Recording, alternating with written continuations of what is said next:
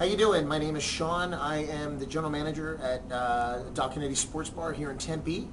Um, just need to talk about a few things, let you guys know what we're all about. Uh, certainly want to start off with the food. Um, first and foremost, uh, excellent, excellent food. We've got um, pretty much a step above uh, pub grub. Uh, we've got uh, gourmet sandwiches, gourmet burgers, chicken sandwiches, wraps. Um, the wings have become an absolute staple here. Um, food is absolutely delicious, and I hope you guys come down and uh, check it out. No. As you can see, uh, this is our Arizona room. Uh, hence, nothing but um, Arizona sports memorabilia. Uh, it is open to the public all the time and also available for private functions. Uh, it fits up to uh, about 25, 30 people.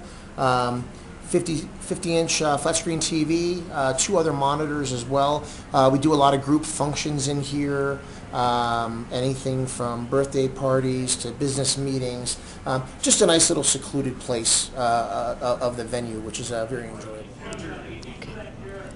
Once again, another part of the restaurant. It's pretty much considered our main viewing area of the restaurant. Um, we've got the six monitors and a 100-inch uh, uh, big screen TV.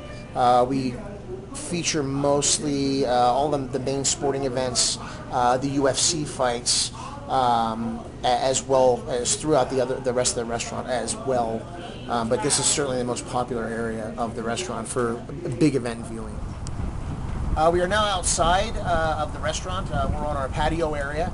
Uh, seats about 75 to 80 people. Um, it is uh, a full-service patio, uh, very uh, misted in the summer and heated in the winter. Um, it is a full smoking patio, also with a non-smoking area available.